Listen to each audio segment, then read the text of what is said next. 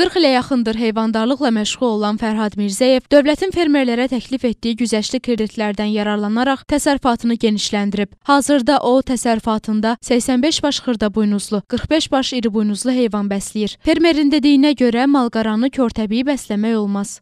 heyvanı da mütəxəssis olsun.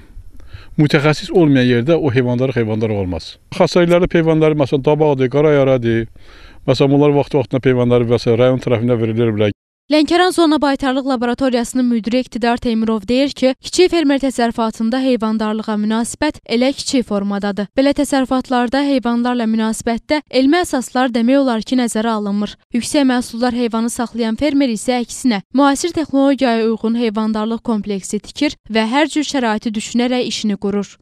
Bir var ki, heyvana bir tərəfli yem olaraq quru ot verəsən, saman verəsən. Bir də var ki, heyvandarlığa bir geniş məfhumda ba- baxım baxışın olsun. Heyvan heyvanların məhsuldarlığı, yəni onların gene- genetik potensialı nəzərə alaraq onlara məhsul verəsən, yem verəsən və məhsul əldə edəsən. Bu tamamilə başqa bir şeydir.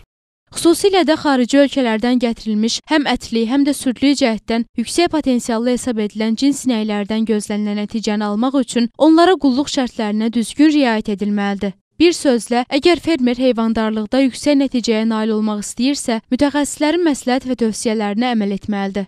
Nuranə Tərlan qızı, Elviz Nəsirli, Lənkəran.